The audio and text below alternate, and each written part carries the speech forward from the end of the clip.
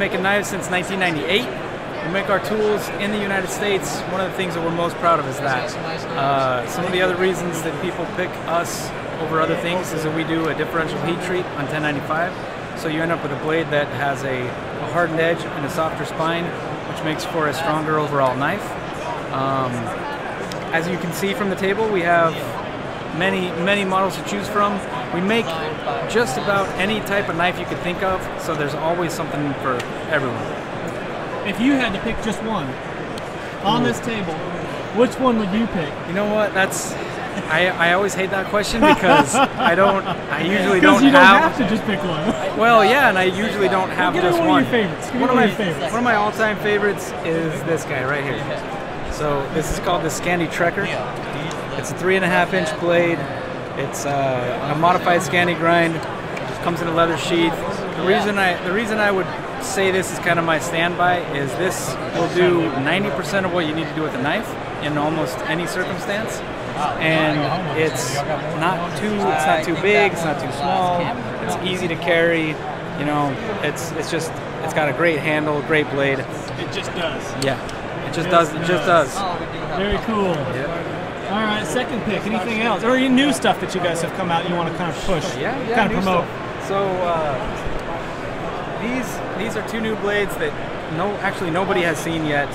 Um, First time here. Huh? this one is uh, so there's a brand out there called Marbles, and the guys that own that wanted us to make one of one of their models, but with our take, and and put it in our lineup. And so that's that's this. I believe it's called the Woodcraft.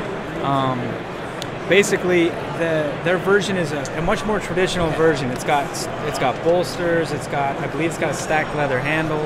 You know, so it's that really traditional. Uh, it's got the shiny blade, all, all of that, and so type hunting type. Exactly. Knife, yeah. Exactly. So they brought it to us. Leo was like, "Oh yeah, I can make it like a tops knife." So we ended up doing our our 1095 heat treatment on it. We've got a micarta handle with kind of a kind of a fake bolster built into it to give it that same look, but with our handle and our feel and, and, and our finishes. So I'm pretty excited about this one. It, loo- it looks great. The way that handle came out is just awesome. Um, and this one should be out hopefully by the end of the year. And then the other new one is uh, this is basically a mini gladius. Imagine the uh, you know the Roman times, and they would have that short sword. It was called a gladius. Well, this is like a slimmed down, like a like a 2021 version. You know, so double-edged, super super stabby. Um, it's got a really nice handle.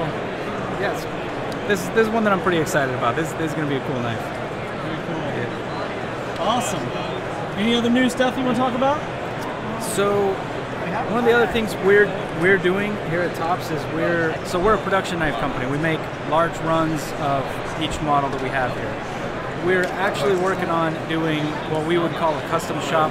Um, some some things are going to be fully custom. Some things are going to be more of just a limited run.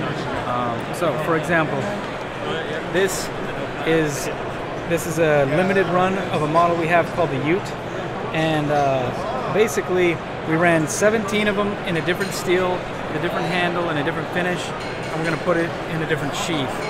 And so this is going to be the first release in the custom shop that we're doing, as basically kind of kind of like a test run. Um, it's a super limited run, so it, I imagine that in minutes these will be totally gone, and that's it. So um, we're gonna do a lot of things like this where there's limited runs of stuff. We'll do some where there's one, where it's just Leo goes and makes a knife and we sell it in the custom shop. So it's gonna be it's gonna be kind of a hodgepodge of, of limited runs of things, one-offs, you know, stuff like that. So it's gonna be uh, this is one of the things I'm I think over the next two three years this is the thing I'm most excited about is the custom shop. It's Very gonna be it's gonna be awesome. Yeah, that's gonna Yeah. be cool. Very interesting. New stuff coming out. Really cool. Sure. I like it. Cool. Yeah, I love Tops Knives. There is a plethora of here, and if I, if you asked me to pick one, it'd probably be this guy right here. This Puko knife with a bow drill divot. Just fits good in the hand, and it'll do just about everything you can imagine. I like it a lot.